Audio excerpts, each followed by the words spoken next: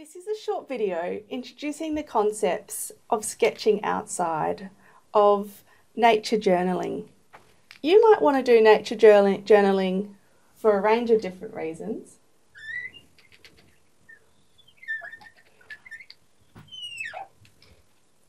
But one of the great things about nature journaling is just getting outside.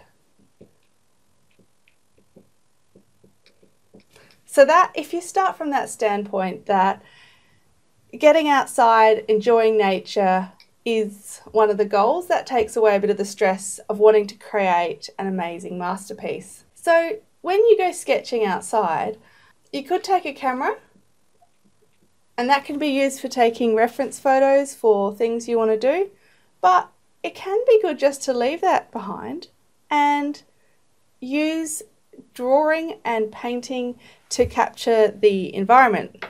These tips are all very based on your personal preference, but let's have a think about what you can do when you're going outside to sketch. So you could start looking really small.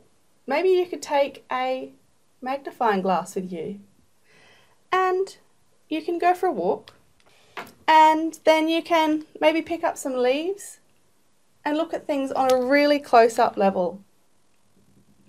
And then you want to find somewhere some sort of sort of comfortable to sit. Having a look at things really close up can be inspiring for artists because you can see the details that are in nature and the unpredicted patterns and shapes. So so that's that's one thing you can do when you're outdoor sketching.